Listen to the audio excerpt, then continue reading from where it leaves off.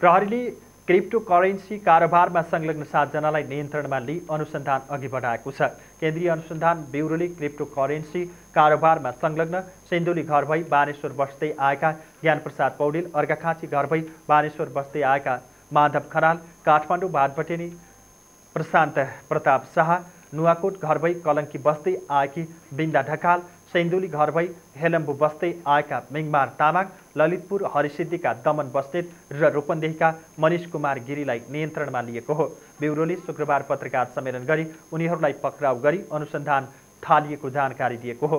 Crypto currency भनेको अनलाइनबाट पैसा जस्तै सङ्केत हुने भर्चुअल पैसा हो।